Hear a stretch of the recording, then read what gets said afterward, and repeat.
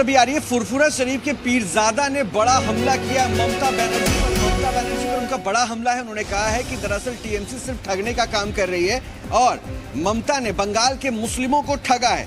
BJP को रोकने के लिए टीएमसी विकल्प नहीं है। सिर्फ़ इतना ही नहीं, पहले दो चरण में बीजेपी को रोक नहीं पाई है टीएमसी, ये भी दावा किया है। ममता के ड्रामे में ना फंसने की बात भी कही अब्बास सिद्दीकी ने। तो आपको बता दें कि अब्बास सिद्दीकी ने एक बड़ा हमला किया है और अब्बास सिद्दीकी ने यह कहा है कि टीएमसी के झांसे में फंसने की ज़रूरत नहीं है। सिर्फ़ इतना ही नहीं ममता बैनर्जी पर मुखर होते हुए अब्बास सिद्दीकी ये भी कह रहे हैं कि ममता बनर्जी ने जो कुछ भी किया दरअसल उन पहले दो चरणों में बीजेपी को रोकने में कहीं भी टीएमसी सफल नहीं हो पाई। यानी टीएमसी जो दावे कर रही थी उस दावे में कहीं भी सफलता नहीं मिली। और क्या कुछ कहा सुनाते हैं आपको? इस वक्त मैं फुरफुरा शरीफ में मौजूद हूँ और मेरे साथ आ, नहीं मिली। और क्या कुछ कहा सुनाते हैं आपको? इस वक्त मैं फुरफुरा शरीफ में मौजूद हूँ और मेरे साथ इस वक्त अब्बास सिद्दीकी, पीरजादा अब्बास सिद्दीकी मौजूद है। आज बहुत भावुक हुए प्रेस कॉन्फ्रेंस के दौरान। आज आप भावुक भी हुए, आपकी आँखें तक भर आई, सर? वजह क्या? मुझे डर लग रहा है, हमारे बंगाल ख़त्म हो जाएगा। इसीलिए हमारे माँ बहन की इज़्ज़त बचाने के लिए हम मीडिया बंधु को अनुरोध कर रहे थे। तब हमारे आँसू में आँसू आ गए आँख में, क्योंकि हमको, हम चाह रहे हैं इस बंगाल को बचाने के लिए। टीएमसी के खिलाफ आज आप बहुत आक्रामक भी नज़र आए। दीदी को लेकर बहुत झूठ बोला और ये गद्दार वाली बात। अरे हम कौन झूठ बोलने वाला हूँ? दीदी ने खुद बोल रहे जे मेरे पार्टी में कुछ गद्दार अभी भी है मुझे संदेह है जो जीतने की बाद बीजेपी उसको बहुत रुपया से खरीद लेंगे। इसीलिए तुम हमको 200 से भी ज़्यादा सीट दो दो। तो मेरा मानना है, ये आपके पास गद्दार है, आप बोल रहे तो हमको बोल दीजिए ना, ये जगह गद्दार है, इसको वोट मत दीजिए, दूसरा जगह हम दे देंगे। तो जिसको गद्दार कह रहे हैं, गद्दार को हम कैसे वोट देंगे? गद्दार जीतने की बाद बीजेपी में चला जाएगा, दीदी खुद बोल रहे तो हम बीजेपी को रोकने वालों में से है।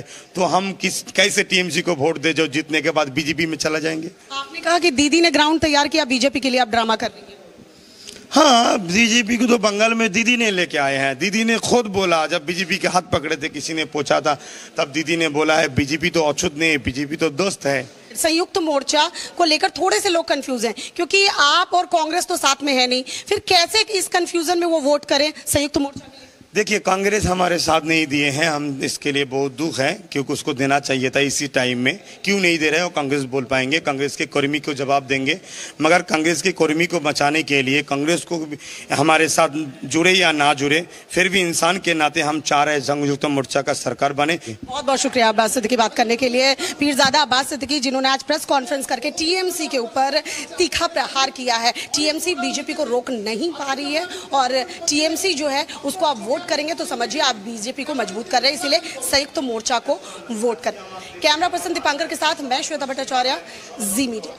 की एक और बड़ी खबर आपको बता दें आराम बाग में योगी आदित्यनाथ ने ममता बनर्जी के शासन पर निशाना साधा। इस वक्त की एक और बड़ी खबर आपको बता दें, सीएम योगी ने आज हुगली के आराम बाग में रैली की और ममता बनर्जी पर ज़बरदस्त हमला बोला। योगी ने कहा, टीएमसी की अवस्था और अराजकता का शिकार है पश्चिम बंगाल।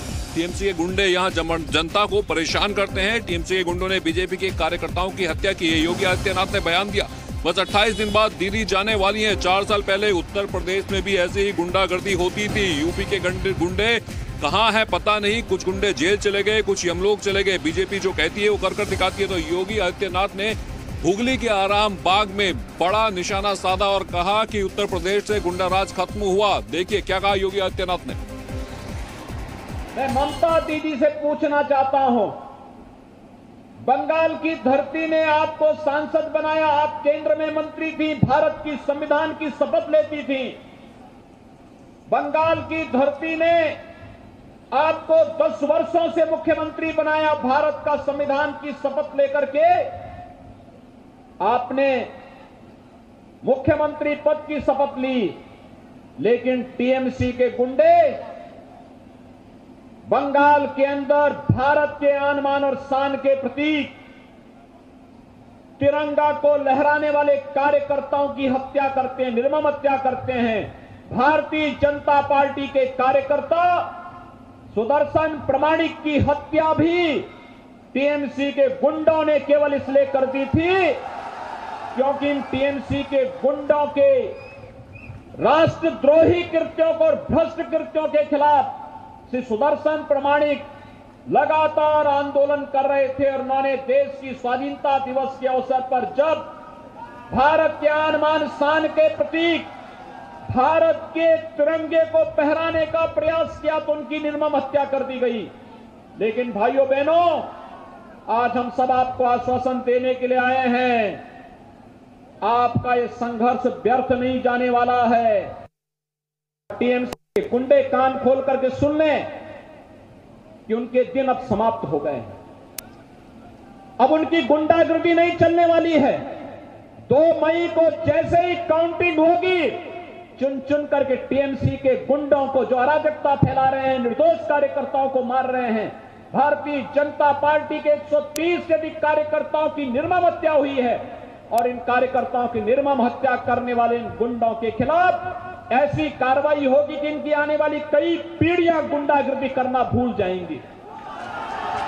पीढ़ियाँ भूल जाएँगी गुंडागर्दी कैसे होती है। और यही कहने के लिए आज मैं आपके बीच आया हूँ कि पहन यहाँ पर ममता दीदी की रुचि विकास में नहीं है। और न उनकी सहानुभूति यहाँ की महिलाओं के साथ, यहाँ के युवाओं के साथ, यहाँ के किसानों के साथ में है। उनकी सहानुभूति तो केवल और केवल गुंडागिर्दी करने वाले भ्रष्टाचारी तत्वों के साथ में है।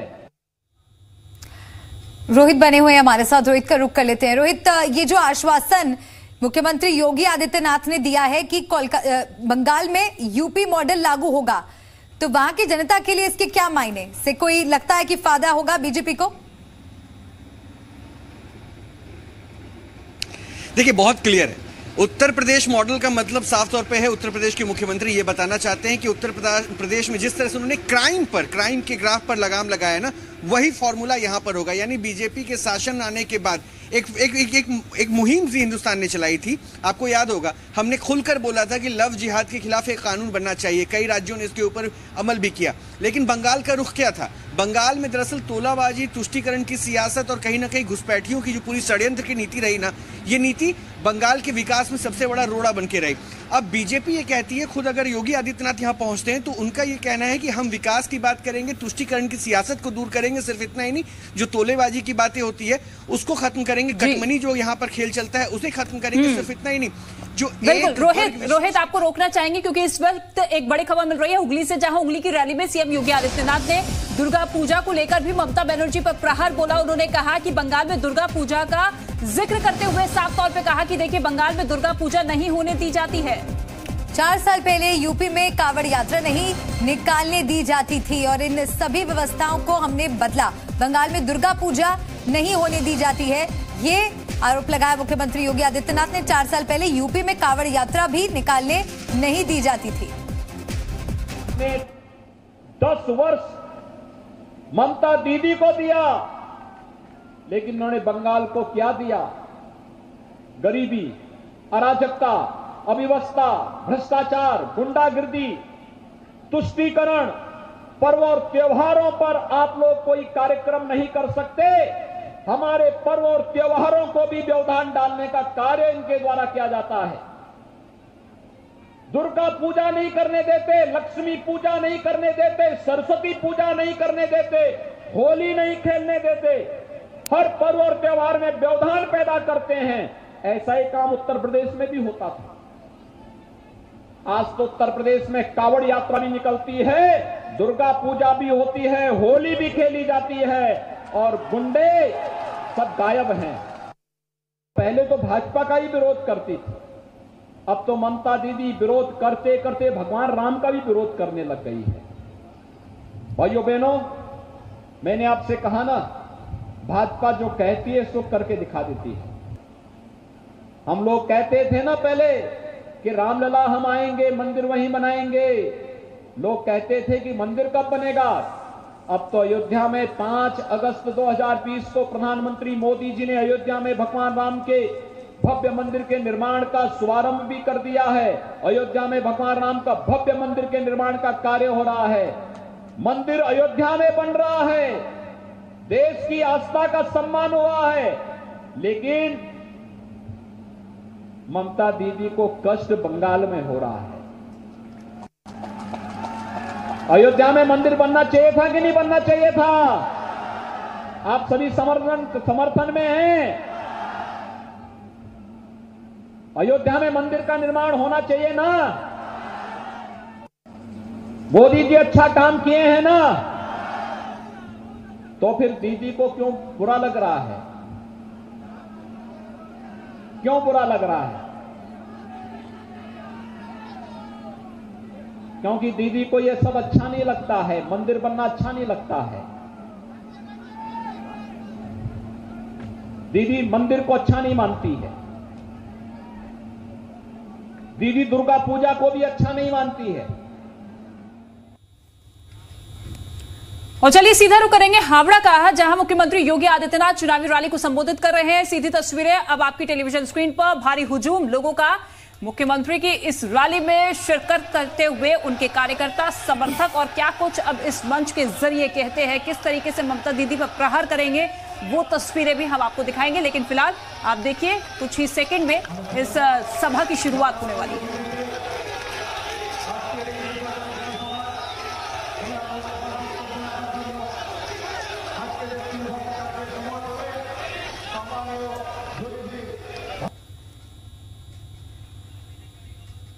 और इस बीच एक बड़ी खबर आ रही है वो आपको बता दें आरामबाग की रैली में सीएम योगी ने बंगाल के किसानों का ज़िक्र भी किया। उन्होंने कहा कि दीदी किसानों तक केंद्र का पैसा पहुँचने नहीं देती हैं। साथ ही कहा कि दीदी की सहानुभूति सिर्फ़ गुंडों के साथ है। किसानों के हित को लेकर ममता दीदी काम नहीं करती है। क्या कुछ कहा? सुनिए जरा। यहाँ का किसान पिछले दस वर्षों में हज़ारों किसानों ने आत्महत्या की है। लेकिन दीदी यहाँ पर प्रधानमंत्री किसान सम्मान निधि का लाभ नहीं देना चाहती किसानों को। दीदी की सहानुभूति किसानों के साथ नहीं है।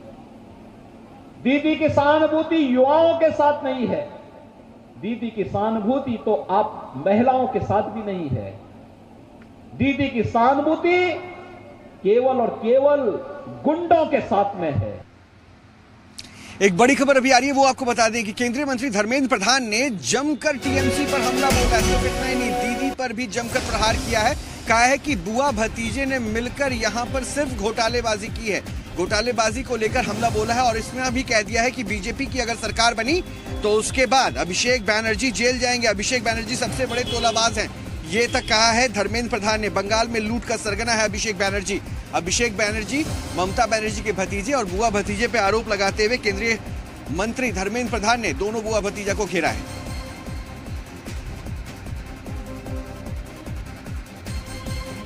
ऐसा जाता है इसका पूरा खुलासा हुआ है जी न्यूज़ ने उसका खुलासा किया। आपको लगता है कि कट मनी पर लेकर लगातार एक्सपोज होती जा रही है सरकार? इसी के ऊपर तो बंगाल की युवाओं का विशेष करके नाराज़गी है।